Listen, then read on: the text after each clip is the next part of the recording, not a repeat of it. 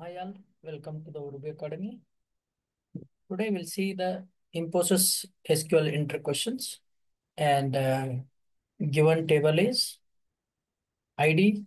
It contains the numbers like 200 minus 300, 400 minus 100, 600 and 500 and uh, they need the output like sum of the positive number. If you add the all the sum, it should come 1200. If we add the negative numbers and sum of the negative number minus 450, how they are adding is the positive numbers. This one 600 and 600, 1200 and uh, 300 and uh, this one 400, 400 and 450. Okay, like this they are calculating. Okay, and we need to achieve this. How we can achieve this? I have the created the table for this and let us go ahead and create the table. The table with the create the table sample t1 and id int. And uh, insert into the sample t1 values 200 minus 300 400 minus 100 and 600 and i'm going to uh, create the table. Go to the mysql. Okay. And uh, control enter. Okay. And then uh, insert the record these records okay? Then okay inserted select the data select the star from okay? Sample t1 okay?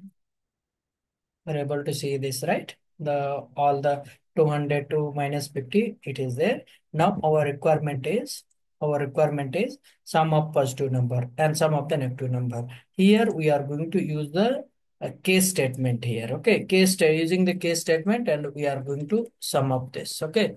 Let us see the how we are going to write it okay?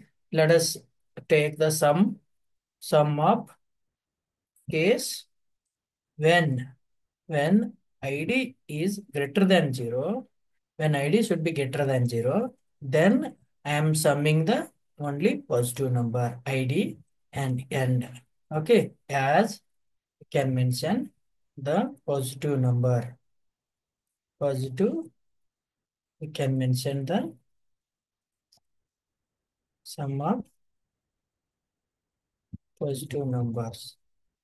Okay and similarly similarly in order to get the hmm, sum of negative number. Take the sum and case. When id is greater than 0 then i am uh, only taking the sum of the negative numbers.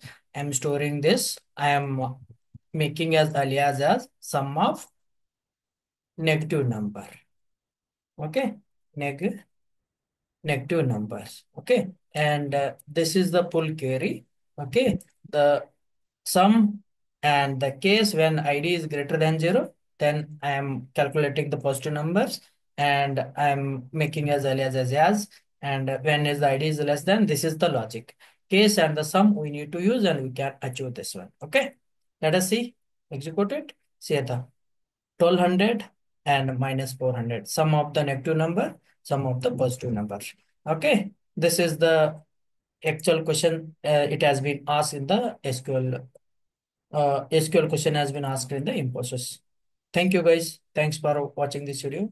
If you have the any questions please comment and uh, please try yourself and comment your answers in the comment box. Thank you